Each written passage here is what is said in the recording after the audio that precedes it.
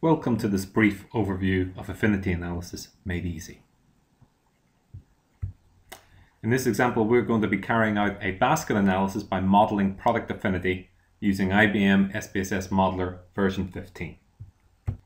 In IBM SPSS Modeler, there are multiple data sources that we can call and file types that we can connect to in order to manipulate and transform the data prior to the modeling process itself.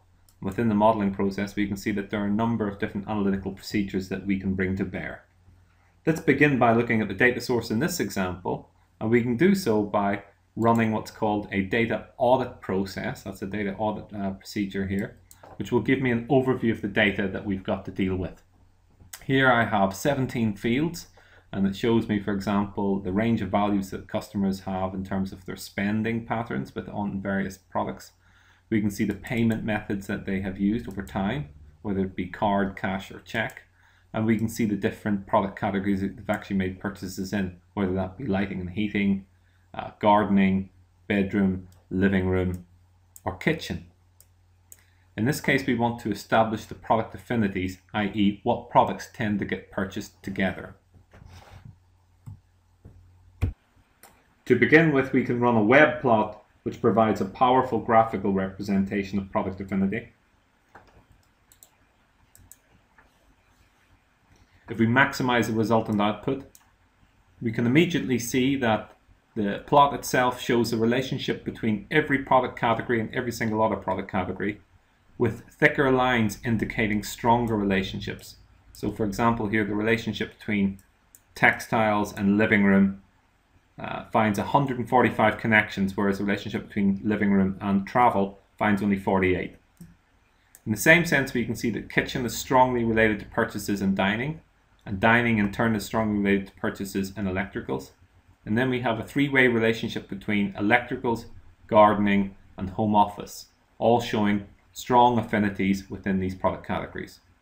In fact, we can control the strength of the relationships that we wish to mask or highlight by clicking on the double arrow button at the top here, going to controls, and telling the web plot what should relate what should constitute a strong or weak relationship, thus uh, fading out the weaker relationships and concentrating just on the stronger ones.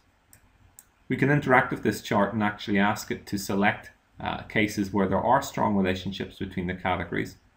But rather than do that, let's move to the modeling process itself and see if we can develop an affinity model.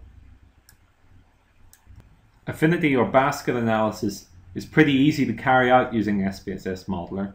In fact, we have some procedures which are specifically designed for that. They're known as the association procedures, and I can call them up by clicking on the association tab. When we look inside this tab, we can see that in fact there's a, a special procedure known as the sequence analysis uh, uh, procedure, and that's focusing on really on the order in which uh, product categories or products are actually purchased. In this case, we're not really interested in that. We're more interested in deriving a series of rules which quantify the strength of the affinities, uh, the products that are being purchased uh, within the baskets uh, of the customers themselves. So to do so, I can call that algorithm by double clicking on it. It immediately connects to the home goods data source and I can right click on it to configure it a little bit, change the default settings in order to get the best rules out of it. So I'll do that right now. Here I'm changing what's called the minimum rule support, I'll come to that in a moment, and the minimum rule confidence. If I run the procedure now, we can see that it immediately produces a modeling nugget for us. This is a, a physical object that we can connect to new data in order to make uh, product affinity recommendations. If we look inside the resultant model, we can do so by right clicking on it and clicking on edit. And what we find is that the model consists of a series of rules that it has uncovered, and in fact that these rules you know, completely reflect the early analysis that we carried out using the web plot, where we're seeing immediately the same three-way relationship between purchases within the home office, electricals, and gardening category. In fact, this is giving us a little bit more information uh, in the sense that it's telling us how many cases that this actually applies to and what the level of confidence is we can see uh, associated with these rules. So here we're seeing, for example, a support percentage column, and it's telling us that 17% uh, of the uh, purchases in the entire data set consisted of purchases uh, within electricals and gardening. And that in fact, when that has occurred, 87% of the time we're also seeing purchases within the home office category. So there's a strong affinity or relationship between uh, products that are getting purchased in these three categories. In the same sense, we're seeing a strong relationship between dining and kitchen here, where dining uh, purchases within the dining category consisted of just under 30% of the uh, purchases that were made, and that when that has occurred, 50% of the time, customers have also purchased within the kitchen category.